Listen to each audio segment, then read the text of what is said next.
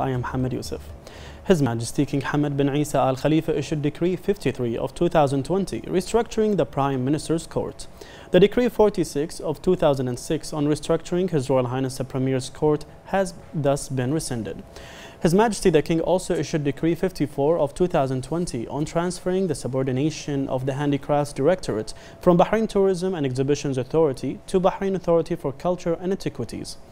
His Majesty the King also issued Decree 55 of 2020, amending some provisions of Decree 49 of 2012 on restructuring the Civil Service Bureau. His Majesty the King then issued Decree 56 of 2020 restructuring the Horse Care Affairs Authority. The CEO with the rank of Undersecretary shall be subordinated to the Board of Directors. The Horse Control and Health Directorate and the Horse Affairs Development and Organization Directorate shall be subordinated to the Chief Executive Officer. His Majesty King Hamad bin Isa Al Khalifa received at Sakhir Palace U.S. Secretary of State Mike Pompeo, who is currently on a tour to several countries in the region in the presence of His Royal Highness the Crown Prince, Deputy Supreme Commander and First Deputy Premier Prince Salman bin Hamad Al Khalifa, and the representative of His Majesty the King for Humanitarian Work and Youth Affairs, National Security Advisor, and President of the Supreme Council for Youth and Sports, His Highness Sheikh Nasser bin Hamad Al Khalifa. His Majesty affirmed Bahrain's pride in its deep-rooted historical relations and close partnership with the United States that reflect a long history of mutual understanding, cooperation and coordination in a manner that enhances their shared interests at all levels. His Majesty welcomed Secretary Pompeo and reviewed with him bilateral relations and means of developing and boosting them to enhance our frameworks for bilateral cooperation and joint action, especially in the political, economic and other fields. His Majesty stressed Bahrain's keenness to strengthen its strategic partnership and aspiration to consolidate coordination and cooperation with the U.S. to achieve mutual benefits for the two friendly countries and people. The two sides discussed the latest developments in the region and the initiatives and efforts to achieve stability and peace, as well as regional and international developments in addition to topics of common interest.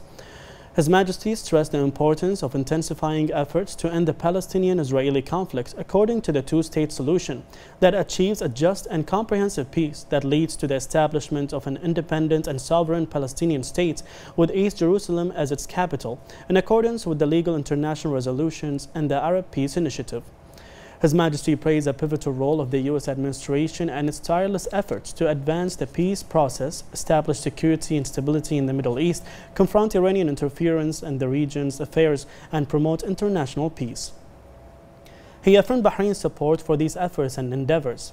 Secretary Pompeo expressed gratitude to His Majesty the King for the gracious welcome and stressed the depth of the distinguished historical friendship and cooperation between the two countries. His Royal Highness the Crown Prince, Deputy Supreme Commander and First Deputy Premier Prince Salman bin Hamad Al Khalifa received a telephone call from the Prime Minister of Egypt, Dr. Mustafa Madbouli. His Royal Highness highlighted the long-standing ties between Bahrain and Egypt, which continue to receive the support of His Majesty King Hamad bin Isa Al Khalifa and the President of Egypt, Abdel Fattah al-Sisi. His Royal Highness emphasized the importance of further expanding bilateral cooperation across all fields to facilitate further opportunities that benefit both countries and their people.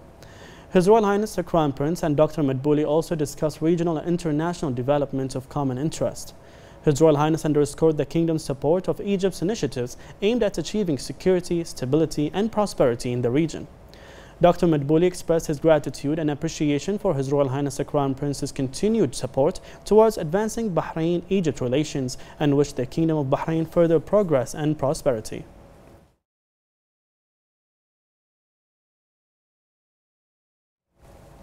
His Royal Highness the Crown Prince, Deputy Supreme Commander and First Deputy Premier Prince Salman bin Hamad Al Khalifa met with the U.S. Secretary of State Mike Pompeo at Sakhir Palace. His Royal Highness highlighted the depth of historic relations between Bahrain and the United States, which are based on strategic cooperation, strong partnerships and continuous coordination at all levels. He welcomed the visit of the U.S. Secretary of State, during which both reviewed bilateral relations and examined opportunities to further strengthen them. His Royal Highness underscored the kingdom's commitment to continuing the advancement of Bahrain-U.S. strategic ties.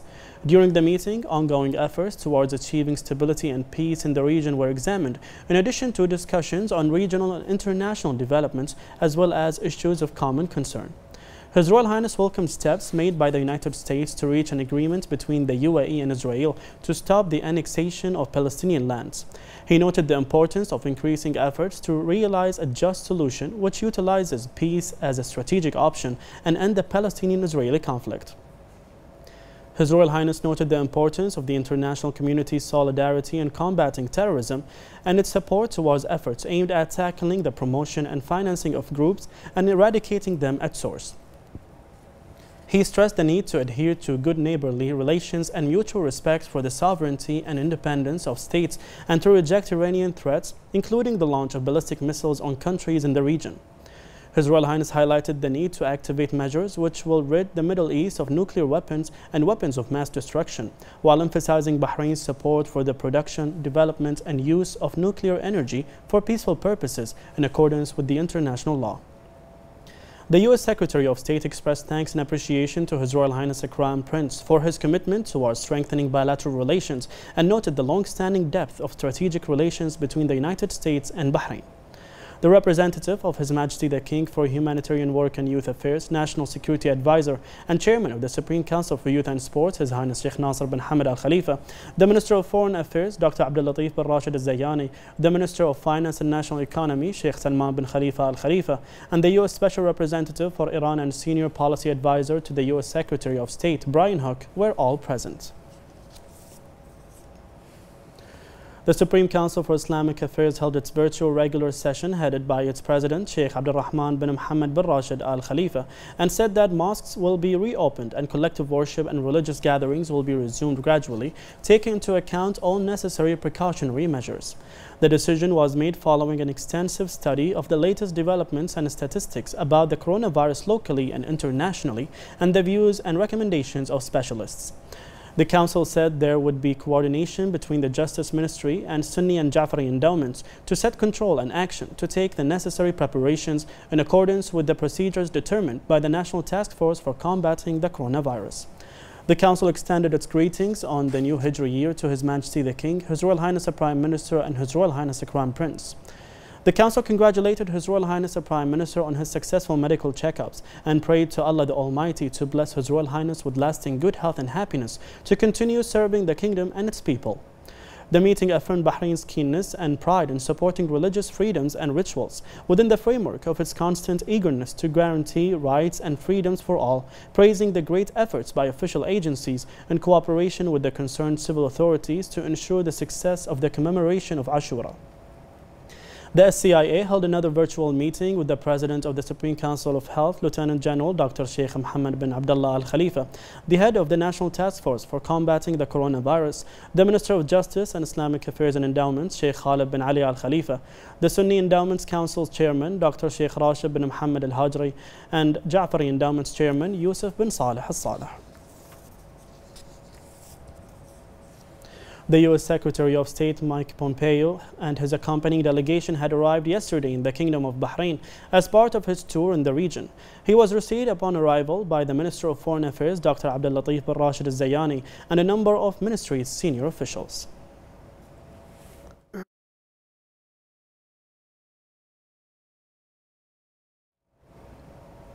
The Minister of Labour and Social Developments and Chairman of the Labour Market Regulatory Authority, Jamil Humaidan, praised the launch of a package of initiatives by the Cabinet headed by His Royal Highness the Crown Prince that aims to develop a permit policy for foreign employers to practice several professional activities, the flexible work permit.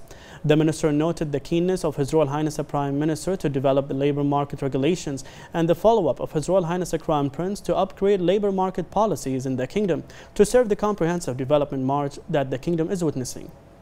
The minister pointed out that these initiatives came as an affirmation of cooperation and partnership in dealing with issues related to the labor market between all relevant parties as it was agreed to develop and activate the flexible work permit to serve the interests of all parties and contribute to activating the commercial and economy movement in the country.